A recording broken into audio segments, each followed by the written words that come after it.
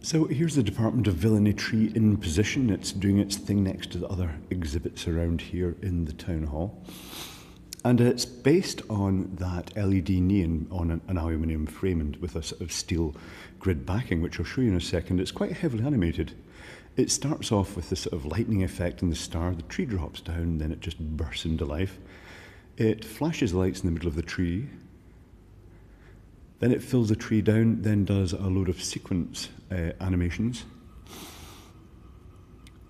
which will repeat for a multiple number of times. The next one is the random data falling down the tree. It's just from a randomizer. Then the start at the top flashes, and then the tree will unbuild and the sequence will start again.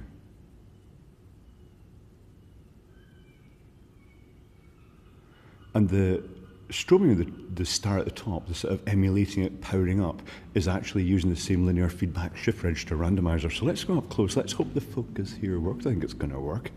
So what we have here, we have an aluminium frame with plastic inserts that hold it together. On the back of it, there is a welded steel mesh. That was quite hard to get. That was one of the, it took the longest to get. The aluminium uh, had to get shipped over to the man, which is a bit annoying because it was really expensive to ship. Not as expensive. The aluminium itself cost about uh, something like forty pounds for uh, four two-meter sections, but the shipping was two hundred and fifty pounds from one company who didn't end up being used. So um, it goes together, and there's I also put some uh, reinforcing plates in the bottom just to keep it absolutely rigid and vertical. It uses a Mean Well transformer. The reason I chose the Mean Well transformer is because it's predictable, it's safe, it's an unknown variable, and of course we've got the controller up here with all the cable looms going into it. The mesh, the close fit mesh, allows the neon, the LED neon, to be uh, put on in shapes, but also repositioned. So after this has been used, after this year, this will all get stripped off and it will get done again next year. Things worthy of note, the termination, the green neon is, well, the green LED neon has pins pushed down the end, plus the uh, some restraint uh, sleeving, and then the cable tie around the end.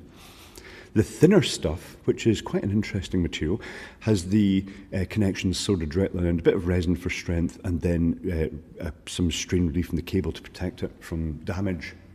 The star is the only bit that's on a metal frame. It's an existing star-shaped uh, steel frame at the top that that was put onto. Oh, that's quite ferocious.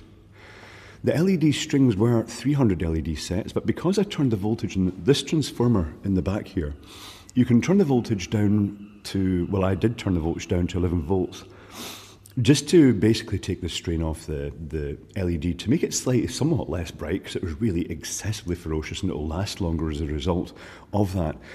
But because these strings of LEDs were 12 volt and they were actually, they're 300 string sets, but it's composed of uh, four 75 LED sets where you've got the 75 LEDs in parallel and those four strings wired in series to make up the 12 volts with no other resistor. It came with a 12 volt power supply. Um, I used, uh, I actually cut one of the 75 LED sections off this and then uh, added resistors, uh, uh, resistors in the socket so that it can be adjusted and that allows the intensity to be adjusted. And the same with the, the warm white ones are also a 300 set that was cut down by 75 LEDs to 225 LED set. Uh, is that about it? I think it is. Oh, nice, nice reflection. That kind of shows the effect quite well. Actually, the reflection looks really good. It's the Department of Villainy controller.